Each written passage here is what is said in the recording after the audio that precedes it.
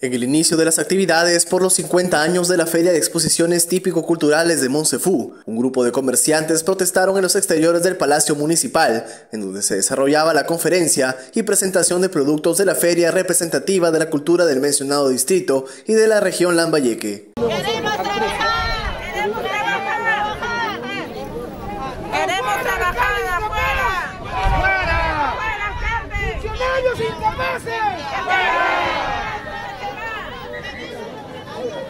Jaime William Yontop González, presidente de la Asociación Nueva Pétimo, manifiesta que son cuatro las organizaciones con un total de 79 comerciantes que no van a participar de esta feria y denuncian a las autoridades por el aumento de alquiler de los espacios. Los precios nos han elevado a más del 100% porque en el año 2019 nos costó 17 soles el metro cuadrado. Ahora nos quieren cobrar 35 nuevos soles. Y muy aparte, los espacios nuestros no nos están respetando. Ustedes saben, cuando han venido a Monsefón han encontrado casi toda la avenida Venezuela con stand rústicos de gastronomía. Este año ustedes van a ver, no vamos a estar presentes. Y eso es lo que le reclamamos al señor alcalde, por no habernos llamado, por no conciliar.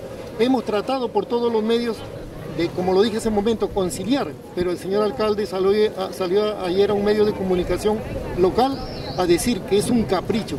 No es un capricho, señores porque nosotros estamos pasando por una pandemia y nos estamos reactivando recién. Desde el 2019 nos vamos a reactivar.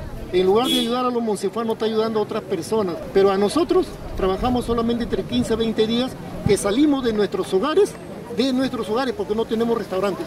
¿Cuántas personas son? Un promedio de 80 personas. Somos 79, exactamente. ¿En las cuatro organizaciones? En las cuatro organizaciones. ¿Las cuatro organizaciones no van a participar? No, no vamos a participar. Estamos acá, por eso estamos acá, en haciendo este plantón. Eh, sin violencia, solamente protestando. Por otro lado, el alcalde distrital Manuel Pisfil Miñope descartó tener preferencias con los artesanos e indicó que debido a la pandemia, los protocolos para el evento son planificados. Como los, los demás años, hay que adoptar medidas como de bioseguridad, limpieza constante, que es lo que nos caracteriza, y eso aumenta el costo, ¿no?